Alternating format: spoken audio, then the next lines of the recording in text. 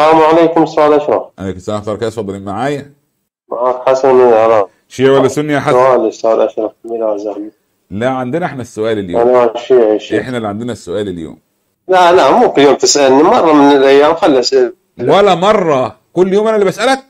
ده جديده دي. طب اسأل يا حسن. طالما أنا هصدقك قدام الناس يا حسن. اتفضل يا حسن. نعم يا أستاذ أستاذ أشرف أنت تعرفني حتى ببرنامج التيك توك. أستاذ أشرف بالنسبة أنا والله ما حتى تتكلم بالعقيدة لابد أن نجذر لها. تقول يا حسن؟ نعم. صعد وياي عند الاستاذ أحمد المصري. نعم. أنا مش فاكر والله يا حسن. نعم أستاذ أشرف بالنسبة أسألك سؤال ب- بال- بالعقيدة اللي هو ثبتها رسول الله صلى الله عليه والسلام. وسلم. طبعا يا أستاذ أشرف صحيح أنت وأنا اختلفنا أنت على دين وأنا على دين. لكن هنالك أصل لهذا الدين. هو رسول الله صلى الله عليه وسلم. وهو سؤالي سؤالي في زمن رسول الله صلى الله عليه الصلاة والسلام. وسلم. نعم. اتفضل عليه الصلاة والسلام اتفضل أقول من هو ولي للمؤمنين في زمن إيه يا حبيبي السؤال؟ من هو ولي المؤمنين في حياة رسول الله صلى الله عليه وآله؟ النبي صلى الله عليه وسلم ولي كل مؤمن ومؤمنة. أحسن. جزاكم الله خير. عارف يعني إيه ولي؟ الله سبحانه وتعالى ثبت لنا- استنى استنى. عارف يعني إيه ولي؟ الولي نعم كل معاني الولي هي تنطبق في رسول الله صلى الله آه، عليه كل وآله وسلم. معاني الولي. ممتاز. أتفق معك على ذلك. اتفضل نعم. هسه إذا ثبت أن آه، رسول الله في القرآن الكريم هو ولي كل مؤمن من نفسه يعني ما جاز ل- لل- للصحابة لا يجوز على رسول الله صلى الله عليه وسلم. مش فاهم يعني. فيحق. على رسول الله. استنى. قال يعني وضح بس الله يصلح حالي وضح. نعم. إيه في القرآن؟ أقول إن رسول الله صلى الله عليه وسلم وهو ولي كل مؤمن من نفسه. أولى بالمؤمنين من أنفسهم. فما جاز على رسول اتفضل نعم. النبي أولى بالمؤمنين من أنفسهم وأزواجهم وأمهاتهم نعم. أيوة،. هذه ولاية رسول الله صلى الله عليه وسلم. هذه الولاية التي أعطاها الله لرسوله الكريم محمد عليه الصلاة ل- والسلام على الم... على المؤمن... نعم على المؤمنين.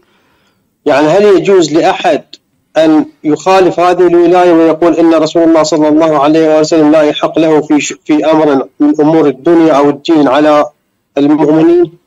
يعني إيه لا يحق له في أمر من أمور الدنيا والدين يعني أنت دلوقتي جه الرسول صلى الله عليه وسلم قال لي زوج ابنتك إلى فلان. فقلت له يا رسول الله أنا لا أقبل. نعم. هل هذا أنا ارتكبت كده جرم في حق النبي صلى الله عليه وسلم؟ لا.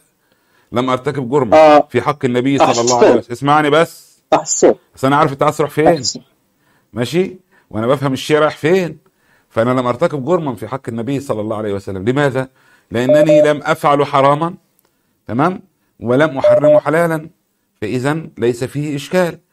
لأن النبي صلى الله عليه وسلم قال أنتم أعلم بشؤون دنياكم. تفضل.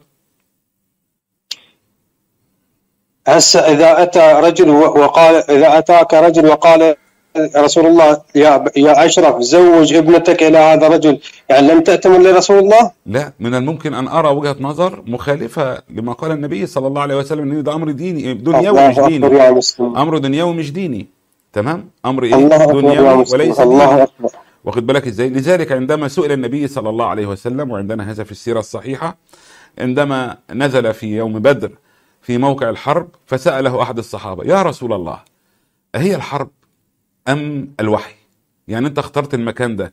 لأنه أفضل مكان للحرب أم إنه الوحي من أمرك بذلك. فقال إنها الحرب. فقال يا رسول الله فلنأخذ موضعا آخر. تمام؟ ولذلك هل شأن أسرى بدر مثلا؟ يعني أنت بتتكلم بتقول في هذا الشأن أصل هذا لا يجوز. طب شأن أسرى بدر. عندما أشار الصحابة على النبي بأخذ الأسرى. هل النبي عندما أخذ الأسرى هنا أخذهم بوحي أم بدون وحي؟ رد علي عزيزي أنت دخلت في محور رد آخر. على قدر. سؤالي يعني هو نفس الأمر أمر الدنيا.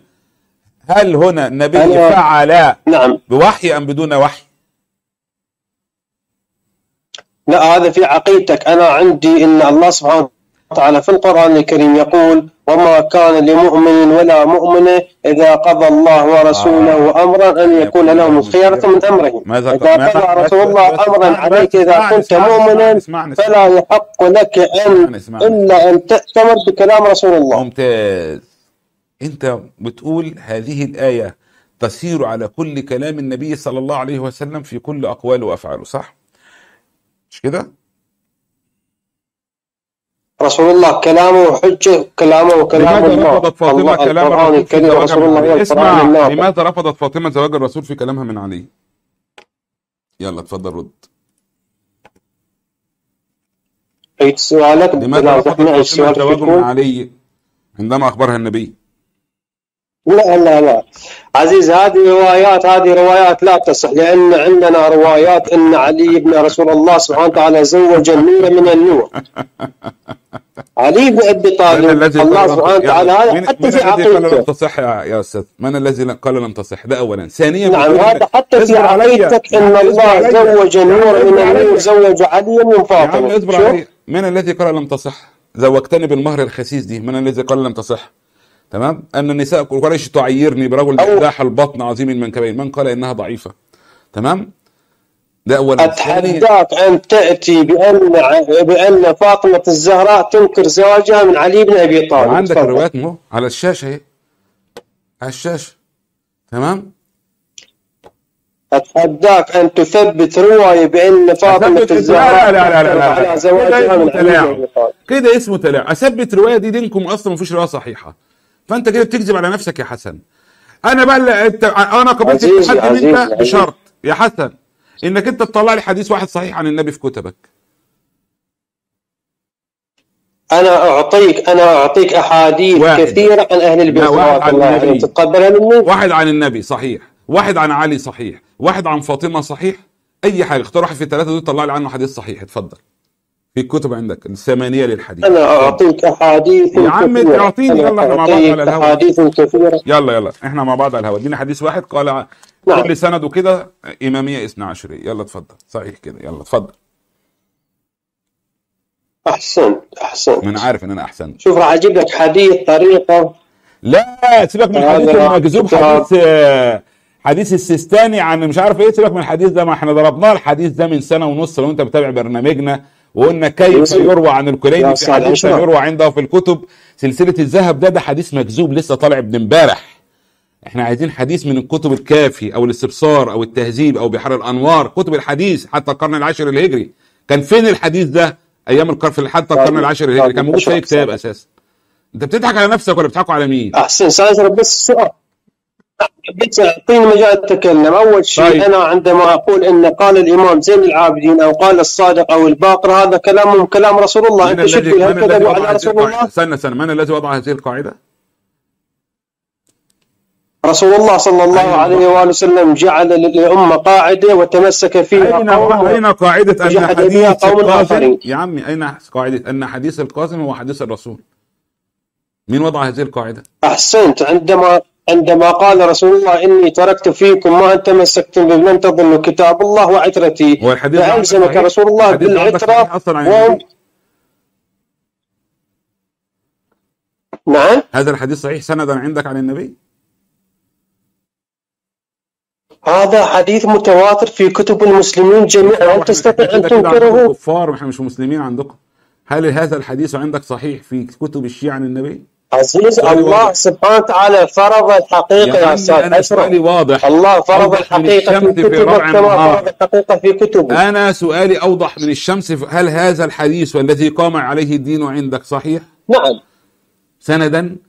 في كتب الشيعة؟ شئنا أم أبينا شئنا أم أبينا شئنا أم أبينا أن رسول الله ثبت لنا عقيدة هم أهل البيت صلوات الله وشئنا عليهم أم أبينا؟ أستاذ أشرف نذهب إلى روايات- الحديث الذي قالته شئت. أم أبيت؟ عندك روايات أن فاطمة طعنت في زواجها من علي. شئت أم أبيت أن فاطمة كانت تكره الحسين. شئت أم أبيت أن النبي صلى الله. عليه وسلم أرغم فاطمة. شئت أم أبيت هذه كتبك لابد أن تصدقها. طالما صدقت حديث العطرة الذي ليس له سند عليك أن تصدق كل ما جاء في تلك الكتب لأنه أيضا ليس له سند. تمام؟ فدينك المبني على المزاجية هذا تلعب به عند نفسك وليس عند أشرف غريب. طلبتني بالسند في حديث فاطمة فطلبتك أستاذ بالسند. في حديث قام عليه الدين عندك لم تجد. تقول لي هذا الحديث متواتر. التواتر أيها الجهل من الشيعة. هو ما رواه جمع عن جمع الصحابة لتواطؤهم على الكذب. إذا لابد أن يكون معروف أخبار الرجال الرواة لهذا الحديث. رجلا رجلا وناقلا ناقلا في- هذا الشأن. أما عند الشيعة المتواتر اللي ممكن رواه كذاب عن فاسق عن حرامي عن مجهول ابن مجهول ابن مجهول عن النبي صلى الله عليه وسلم. ده اسمه كده اسمه عندهم متواتر. المتواتر اللي مثلا أنا كتبت حديث في الكتاب قلت بسم الله الرحمن الرحيم تمام؟ يعني مثلا هنا بسم الله الرحمن الرحيم عندهم متواترة. ليه؟ لأنها ذكرت في كل إيه؟ سور القرآن. يا عم ده هي بسملة واحدة بقى. يقول لك بس ذكرت في كل سور القرآن. هي ده اسمه التواتر. عند الاثنى عشرية يمكن حديث واحد ناقله واحد يكون أحاد. ولكن نقله السيستاني ونقله الطو- الخوئي ونقله الطوسي. يقول لك ده أربع كتب. يا عم هو حديث أحاد. إن أنا قريته 20 كتاب ده اسمه حديث أحاد. لا هو ده متواتر عند الاثنى عشر ومن أخطر الأمور ان يناقشك شيعي جاهل زي ده في علم السند. ولا إيه يا أحمد حسن دلوقتي بقى أنت بتقول ما إذا اختار الله ورسوله أمر ما كان لأحد أن يكون له الخيرة من بعد اختيار النبي صلى الله عليه وسلم. زنقتك في اسرى بدر ما عرفتش ترد. مع إن هذا قران وليس حديث ها؟ ما كان لنبي أن يكون له اسرى هذا قرآن وليس بحديث. ثانيا بتقول لي إذا ك- قضى الله ورسوله أمر. طب أنا أسألك سؤال. أسهل. سامعني يا حسن ولا مش سامع؟ عندما أمر النبي علي بن أبي طالب بقتل الرجل الذي زنى على رواية الشيعة طبعا بمين؟ بماريا هل نفذ عليه الأمر؟ رد يلا نعم عندما ذهب إلى رسول الله صلى الله عليه وسلم مكتشف أن هذا محجوب فقال له يا رسول الله انقطعت واضح. أمام سؤالي المسلمين. جميعا فشهد علي بن علي طالب يا أخي سؤالي واضح هل نفذ علي الأمر؟ اسمع أنت دعني دعني أجيبك في أنا محتوى دلوقتي أنا أمرت بقتل هذا الرجل. هل علي نفذ ولا كان له وجهة نظر غير التي أرادها النبي وفهمها للنبي؟ نعم ذهب علي بن أبي طالب عليه السلام وأخذ أن ينفذ الحكم في هذا الرجل فوجده إنه محجوب. هل نفذ؟ فعندما رجع إلى رسول صلى الله عليه يا أخي سؤالي واضح. هل علي نفذ أم كان له رأي آخر؟ غير افهمك اذا انت ما فاهم غير افهمك يا يا سيدي عم أنا فاهم رب الكعبة. أنا فاهم. أنا أنت بتقول إذا قضى الله ورسوله أمر ما كان هناك خيره لأحد في التصرف. أنا سؤالي أبسط من الشمس. أنتوا قلت لي استغفر الله كيف الله يقضي أمر والرسول أمر ولا ينفذ؟ هنا أمر عليه بت- بالقتل. ما ما قالوش روح شوف لي الوضع إيه. قال له اذهب فاقتل. هل علي نعم. نفذ؟ ائتمر ائتمر علي بن أبي طالب. ائتمر علي بن أبي طالب وأخذ ذاهبا حول هذا الرجل وأراد أن يقتله فوجده محجوب. فرجع إلى. رسول الله والصحابة فقال له يا رسول الله إنه محجوب. ما لقيتش فشهد ماذا أمام الصحابة على أنه. محجوب فسقطت. حجيه المتكلمين يا عمي أنا سالتكش ماذا قال علي؟ أنا سألتك هل علي أمر بقتله أم أمر بالبحث عنه؟ ويشوف رجل ولا مش راجل أمر بقتله فاعتمر علي رسول الله كده أمر بقتل.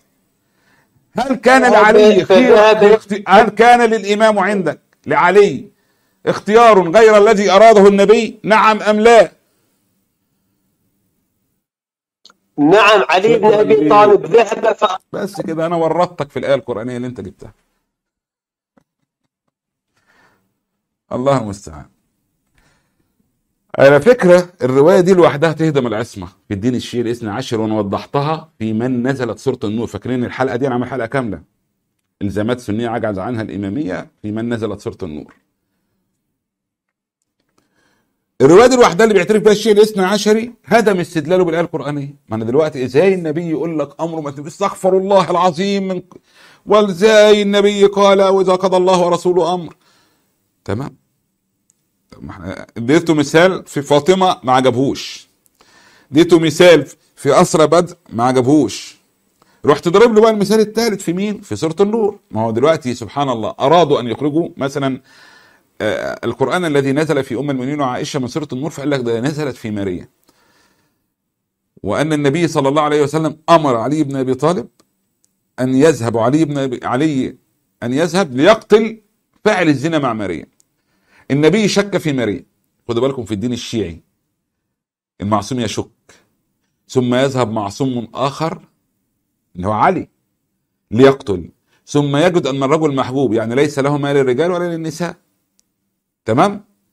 فوقع اذا ظلم آسف عند الشيعة. من النبي للفاعل دون التبين ووقع ظلم من الإمام لأنه ذهب ليقتص.